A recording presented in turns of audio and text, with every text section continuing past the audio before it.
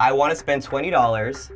I want the atmosphere to be lit as f- and I want some regional classic. Go. Oh man. And so, what do you mean by lit as fuck? I mean,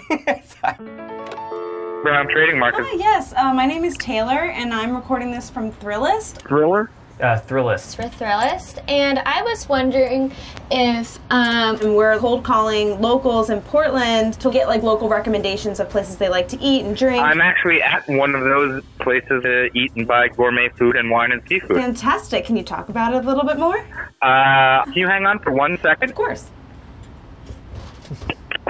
I'm on some sort of web series right now. It's about telling people where to go and eat. And can I talk about what we have? And hi there, I'm back. Hey, Right now, I'm standing in a place called Brown Trading Market. Uh, we have all sorts of gourmet goodies, 1,500 distinct labels of wine, the best fresh seafood in Portland. I have heard over and over again that Portlanders are known for the lobster. So, what makes your place the best seafood spot?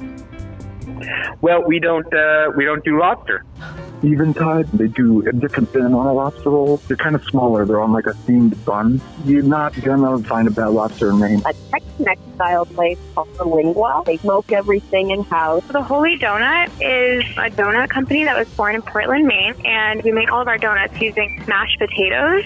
wait, what? Yeah, Repeat that. Literally pieces of potato. It's about a third of the dough. Northern Maine has kind of been a long tradition of putting potato in everything because have so many potatoes. So another kind of Maine classic, and it just is like a little bit of a different texture. Okay. If I'm more into like drinking beer, There are there some good local breweries you would recommend? You, you, you didn't do any research on Portland, Maine, did you? There's like six million breweries here. Do you Um, have a favorite? There's a couple that I enjoy. This little bar called Howie's, like super chill local neighborhood dive bar. There's a really amazing vintage arcade bar in Portland called Arcadia. That's awesome. I like to sit at the bar at Little Giant, have some craft cocktails and, and uh, snack by tea. Porthole, they are located right down on the waterfront. They have one of the biggest decks in town. During the summer, it's absolutely crazy. Bissell Brothers is the first craft beer brewery to go big. It's young and hip, and uh, and and my boss is uh, tapping her fingers at me. Okay. So I wanted to learn more about leaping lizards and how it plays a part in Portland's We're a holistic gift shop. That's awesome. What do you guys sell? We sell jewelry, rock, books, CDs, candles, herbs, Birds? sage, dream catchers, Wow, that's a that's a huge. incense of various types, tarot decks, oracle decks, statuary, wind chimes, little tchotchkes, local stuff, local water, local artists. So like, how do you choose like what types are? We use a pendulum to see whether or not it will sell. Wait, a pendulum? A pendulum? Wait, so how does that work? I'm holding it over the product that this person wants to sell in this store. Oh, I say, will this item sell? If it says no, I push the item back to you and do not take it. and that and are, what other like are there other ways to decide like? No.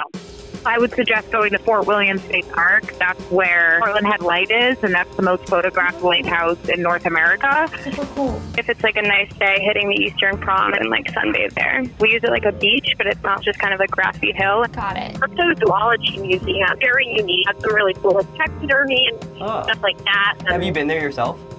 You know, every time I've tried to go, it's been closed. Oh, really? So I have not.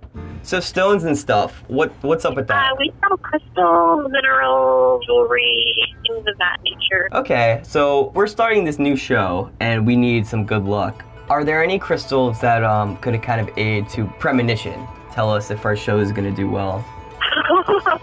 well, it's, it's all about putting in the work, too, and I think it seems like you're really passionate, so I feel like it will work out. Passion. That's not what we want to hear.